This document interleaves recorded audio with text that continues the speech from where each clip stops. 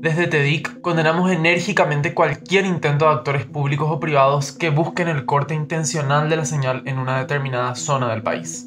Esta investigación documentó una serie de hallazgos que demuestran una enorme precariedad en la zona norte del país, posibilitando situaciones de apagones de Internet sin que estos sean visibilizados.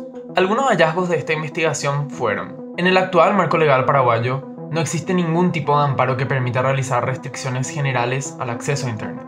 Existe un altísimo grado de precariedad en la zona norte, no contando con infraestructura básica para acceder a Internet.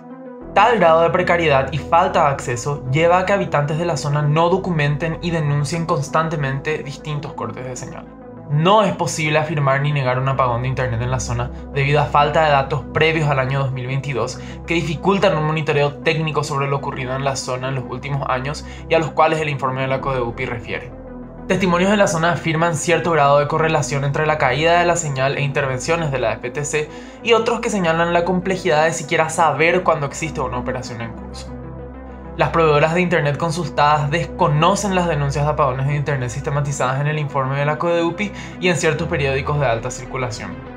Dichas proveedoras niegan asimismo cualquier tipo de acción coordinada con la FTC para dicho fin la FTC niega cualquier tipo de corte de señal en el marco de sus operativos.